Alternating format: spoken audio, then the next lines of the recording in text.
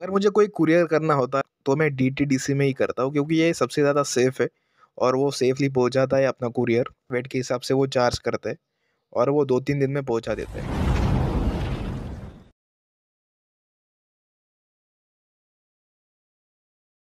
So hello guys तो इस video में हम बात करेंगे तो किस तरीके से आप अपना कमीशन वर्क ले सकते हैं और उसे कैसे डिलीवर कर सकते हैं?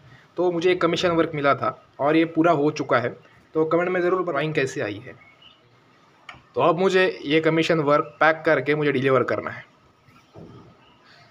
तो पैकिंग के लिए मैं सबसे पहले तो ये यूज़ करूँगा, क्योंकि ये स्केच कैसा होता है सेंसिटिव होता है।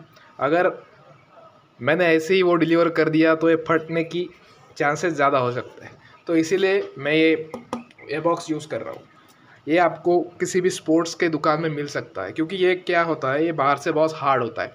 तो अगर मैंने स्केच ऐसे फोल्ड करके इसमें डाल दिया तो ये बहुत ज़्यादा हार्ड होने की वजह से ये स्केच स्केच अपना अच्छा रहेगा इसमें। तो अब मैंने स्केच को फोल्ड करके इसमें डाल दे रहा हूँ मैं। ओके अब ये पैक हो चुका है गाइज़ इसके साथ एक ढक्कन भी मिलता है। ढक्कन में लगा दूँगा।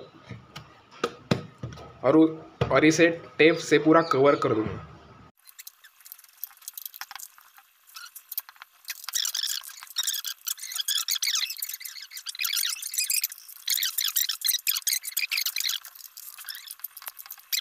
तो गाइस इस साइड की पैकिंग हो चुकी है। टेप से मैंने कवर कर दिया है। तो इस और इस साइड पे भी मैं कवर कर दूँगा। ये पैक हो चुका है। आप देख सकते हैं, नुकसान नहीं होगा अगर आपने स्केच इसमें डाला है तो क्योंकि ये हार्ड है ऊपर से, आप देख सकते हैं। तो मैं मेरी पैकिंग कमीशन वर्क ही ऐसे ही करता हूँ। तो thank you so much guys thank you so much for watching this video I hope if you like this video please hit the like button and to subscribe to my channel thank you so much for watching